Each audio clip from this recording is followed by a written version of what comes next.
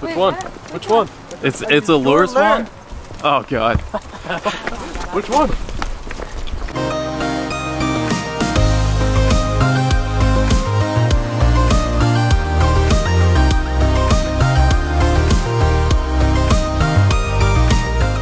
Today I want to focus on the new tracker. It's started rolling out to a lot more parts of the world. Most of the US, I think the entire continental US has it. Uh, large parts of Europe have it.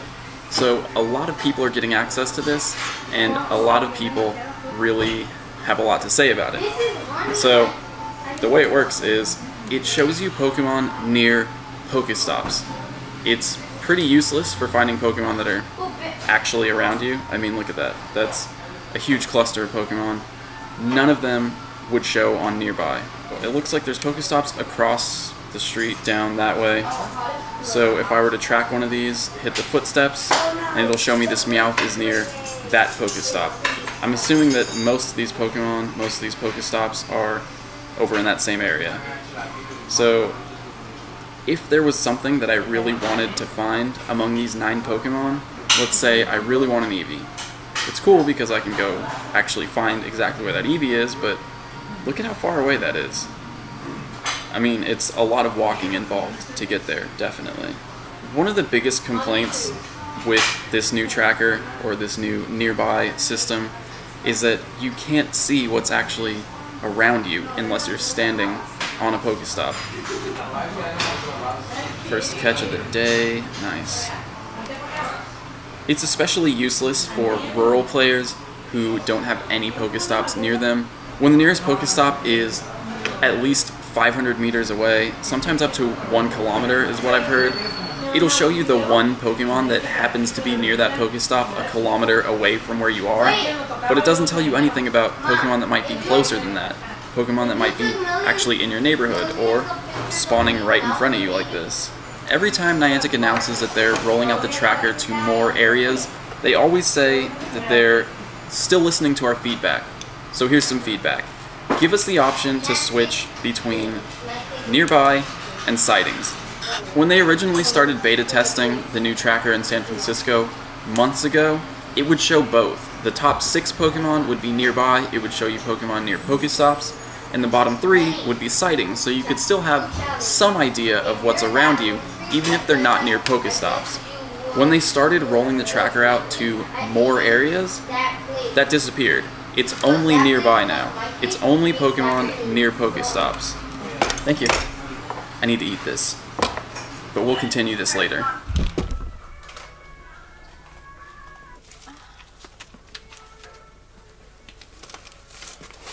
We'll keep talking about the tracker in a second, but I have some eggs hatching. I literally set Porygon as my buddy yesterday to try to get more Porygon candies for Gen 2's release. And I finally hatch a Porygon. Weird. What else? I don't think anything's gonna top that. Unless I get Lickitung right now. Gastly, that's actually good too. Gengar is a very strong attacker now. How are the IVs on this? Nice. 107 candies. I'm close to another one too. Might actually get Shadow Claw Shadow Ball. Krabby. Staryu. I mean, again, Starmie. Strongest water type. Offensively. That's not exciting at all. I have nothing good to say about that. Alright, that's it. Oh my god. Alright, we need to go. What? How, I can't even get there. How do I get there? Yeah, let's go. Is this in someone's store? It's it's back where we were. Okay. So this is like the one good thing about this new nearby system is that when you see something like that that you really want, you know exactly where to go. That's kind of far. I don't know what the timer is on it, but we're gonna go. Oh, there's these bags thingies, poly bags. Okay, but Oh yeah, sorry, sorry. there's also A Charizard. a Charizard. It's not close. It's not walking distance. We have to get in the car to go get it. So if you were playing on foot, this might not be that helpful. I mean, I guess you could walk it. It's just kind of a far walk. It would probably only take about 10 minutes, but spawn timers usually last for 30. If we got here within the last 10 minutes of this, then it's no good.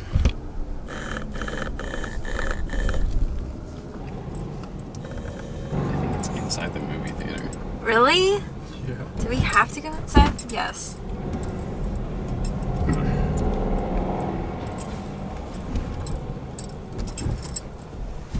Dun, dun, dun, dun. Can we not get it from the outside? I don't know, recording right now. No. Okay, it's inside the movie theater, so we're gonna park. This is not the way that I like to hunt Pokemon, really, but I guess this is what the new tracker, uh, this is the way you play now. Okay. I don't know if we're gonna be able to get inside without buying a ticket. We'll see what we can do. Step. Oh, just, let's say we want to go play at the arcade. Yep. Just go play an arcade game.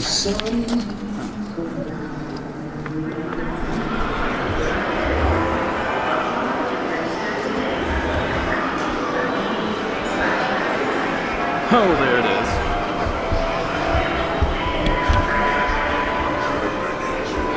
Oh, you got him there? yeah. He's in, probably in here, Addie. Oh no, it's out there. It's out there. That way, it's like, One more over there? Yeah. Okay, walk over there, guys. Sorry. it's okay. I just keep Rihanna came back in here. They're looking forward to. Yeah. Alright, what's yours? Mine sucks. What? Yours sucks? 347. Oh, yes. Alright, let's go. Alright, so 36 CP Charizard. This will be cool for my level 1 collection, I guess. But, I don't know. Th- This is like the one redeeming factor, the one redeeming quality of the new tracker. And we found this, right? They, oh my god.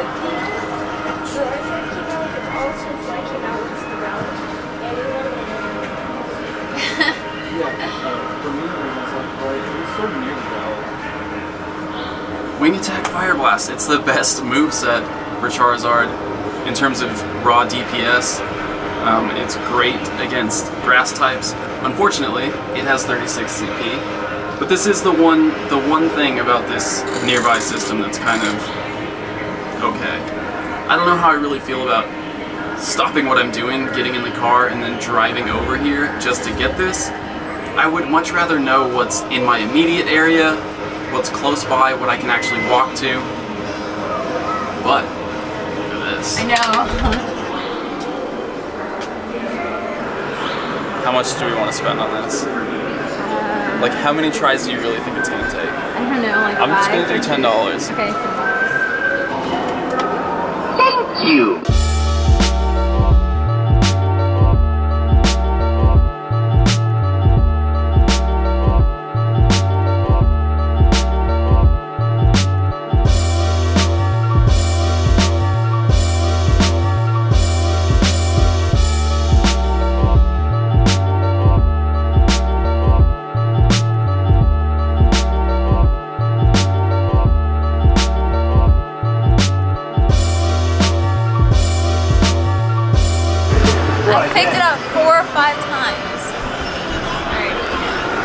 complete waste of ten dollars. These things are rigged. I mean, I knew that to begin with. Wait, what? Really? Yeah. Sucks. Life tip right here.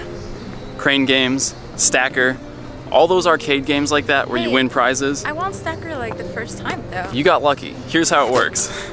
They're rigged so that they don't actually let you win until enough money has been put into the machine for them to make a profit. And you can actually set how much money needs to be in the machine before it will let someone win. True story, you got lucky. You happened to get there at the right time. That whole experience has me thinking about sponsored Pokestops.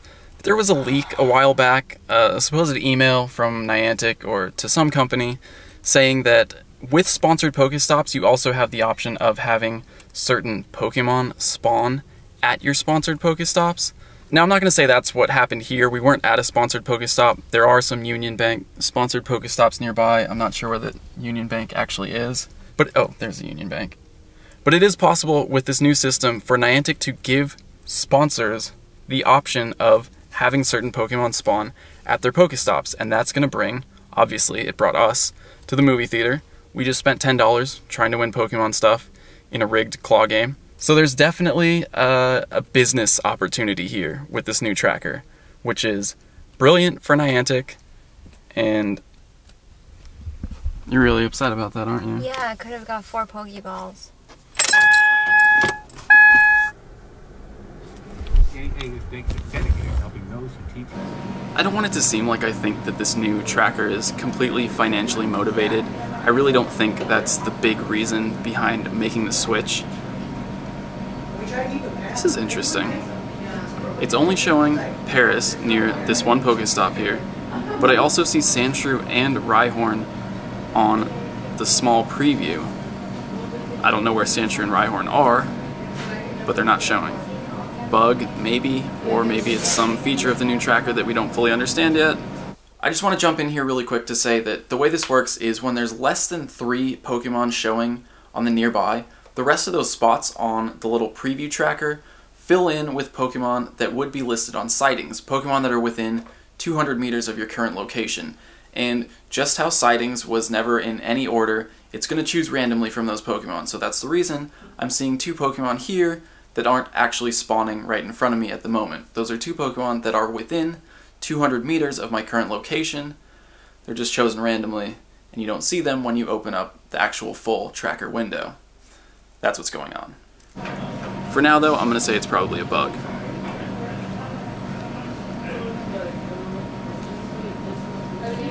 Get agave in your smoothie. So good.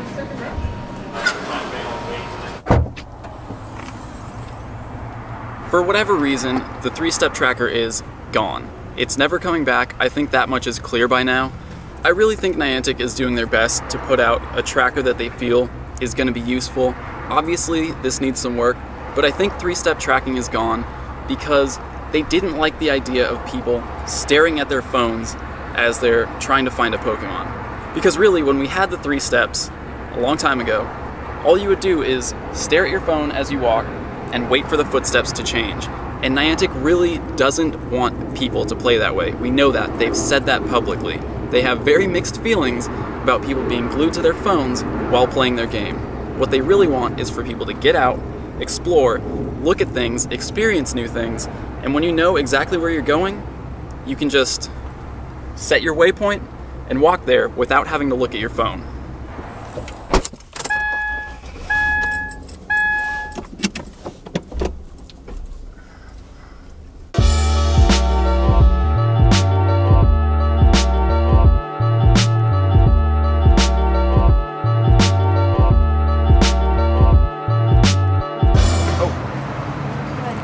Got to Long Beach. Ben's on his way here, so we're going to be meeting him soon. But there's a Hitmonlee. What Pokestop is that? I know where it is. All right. Hitmonlee, strongest offensive fighting type. Let's go get it.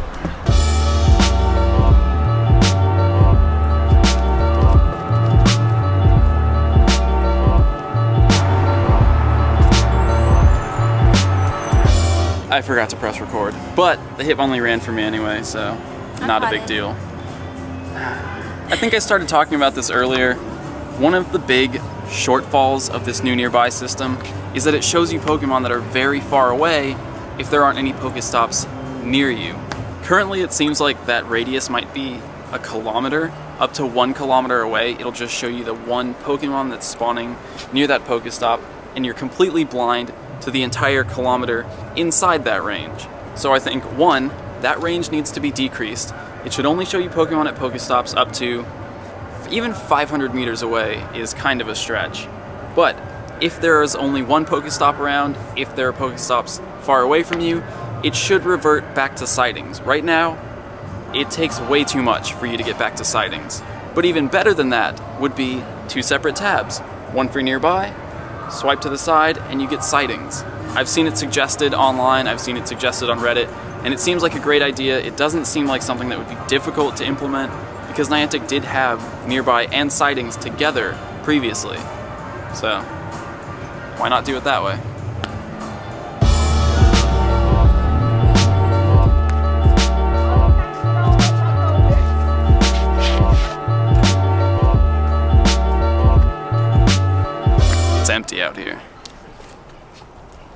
Totally dead.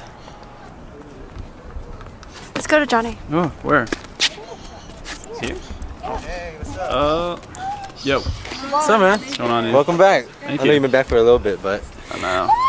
I'm still, I'm pre- pretty sure you're still like trying to jet lag and all that. Rock this. We just threw up a Pokestops. Oh, you did? All of them? Yeah. Not Yeah. all of them, but Oh, not all of them. He Does that everywhere he goes. Yeah. Check it out. Ben, Ben Tim, Tim. one. He's out here, hiding somewhere. it's been really dead here. But the Blappers finally came back this week. Really? Nice. Yeah, it took a while. They were all in Japan, swallowed up, dude. Yeah. They're all, they crazy. migrated back. Hello. Oh my Yeah. god, look at look at all these 93? diddles. Wait, what? Look at that. Oh They're my all, they're all from here in Welcome God. Santa Monica. Hold on, hold on. What up? What's going on? What up? Nice. So, Just, uh, How you doing, Johnny? Ditto ball. Ben? Good to meet you. This is Carla. Hi, Carla. Nice to meet you. I've seen you guys on YouTube and stuff. Thanks, thanks. So, This is the guy, just talking with him.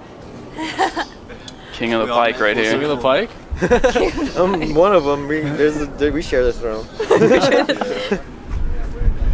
We're just doing our standard lap around the lighthouse. Check it out. Exeggutor. It's kind of far away. Eh, It's not that far. yeah, things are spawning at such a weird rate. It's close. We'll just walk around and get it. Every lure is Ben Tim One YouTube. Best self promotion ever. Self marketing. If you want to catch a ton of Pokemon, just follow this guy around. Here it is. This is the second Exeggutor I found in the wild. 2114, definitely my strongest. I do have another Exeggcute that I can evolve too. So it's like Exeggutor weekend here on Trainer Tips. Nice. One ball. Let's check it out. Confusion Solar Beam, not bad. Zen Headbutt Solar Beam is better. But, uh, no good on the IVs, but 2,114 CP. Sweet.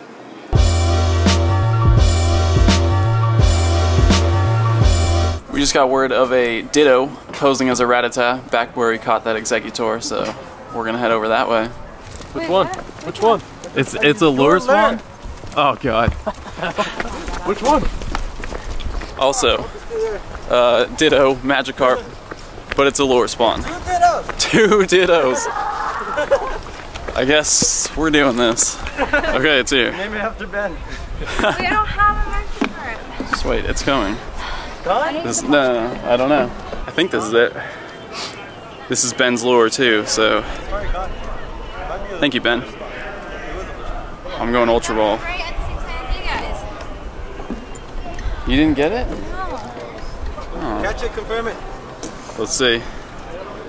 But where was Let's that see. right? It is. It is. We were tired Okay. of it. Walk down a little bit. It's another weak one though. 63 as a Magikarp. It's gonna be stronger than my other one. Oh, 240. That's not bad. Sweet. That's Ditto number two for me. Number three's coming up. It's a Rattata right down that way. Cassie's already there because she's upset about missing this one. You get it? Yeah, I got it. There it is. Yeah. They got it. This is the one. I don't know. 72 CP Rattata. This is gonna be another weak one for me.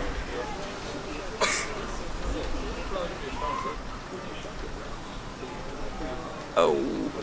Okay. Back to back dittos. Neither of them are spectacular. I didn't check IVs on that other one, but 92 CP. No good. Let me check the last one. Uh, that one's bad too. But back to back dittos, can't complain. I'm getting hungry. And check it out. Place right there. We got the Ditto Parade. The Ditto Parade heading over this way. Ooh, 420 Ponyta. I gotta catch this though. There it is. I see it. I see it. Alright. 76! Here we go. Ditto spawn out here. And of course, 76 CP. Still gets an Ultra Ball and a Razz Berry. You got this one? Not very proud. It's only 20 CP. See? Cool. Two dittos. Nice. Alright, three in a row. That's crazy. 96 CP. 96, 92. 240 is my highest so far. Almost there? Almost there? Where, Where? Where? It's over that way. It's right back this way. Let's go get it. Yep. Alright. We're heading back this way. It's crazy. This is like the best uh, Long Beach trip in a while. It's got to be because Ben's here. We brought that Midwest luck. Is that a thing? I don't know. He's out here in shorts. That's probably why. This I- might be it. Over here. Almost there? Yeah, right here. Nice. Yep. 95. Nice. Let's see. Let's see if I get lucky with this one. 1695. I caught an Omastar really early on, like super early. I think it's 93 CP. I just held on to it because it knows rock throw, which it can't learn anymore. But water gun hydro pump. Uh, well, let's see. Water gun rock slide. Animal style fries. Yep. There goes Johnny on his way home, and we are going to In and Out because you can't come to California and not eat In and Out. Cannot. We're copying Nick's order too, so should be a good time. Over many years and many iterations, I've perfected this order. The order, for anyone wondering, is number one with whole grilled onions. Add pickles, add mustard, fries well done, pink lemonade, and you gotta put pepper in the ketchup. Got it down. Got it down. Drive safe. See you tomorrow. Drive safe. Good night. Alright, they're getting in their Uber. We're heading home. So cold. Some stuff has happened with the nearby though. They made a fix to a supposed bug, so once we get home I'll explain that.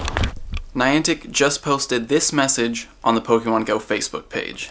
Trainers, there was an unintended bug which limited Pokemon from appearing in the recently expanded Nearby Pokemon feature. The bug that they fixed affected how the game would choose between nearby and sightings. Now, as I was saying earlier, some people were saying that the game would show them the nearby tracker even when there wasn't a Pokestop visible on their map. Now that it's been fixed, it should only be showing you nearby when there is a Pokestop visible within the draw distance of your map. I still don't think that's good enough. The draw distance isn't a perfect circle around you, so it's not the same distance all around. It's more of a rectangle, and at its farthest point, it can be almost a kilometer. So if there is a Pokestop in that one corner of your map, almost a kilometer away, you're going to see Pokemon that are spawning near that and nothing else around you. But plenty of players who don't have Pokestops visible on their map have confirmed that sightings has come back at that point. So it's a step in the right direction. The other thing that's exciting about this post is that they end it by saying we'll keep you updated on changes to this feature, which means they are actively working on it and refining it. So as long as we stay vocal, I'm sure it will continue to improve.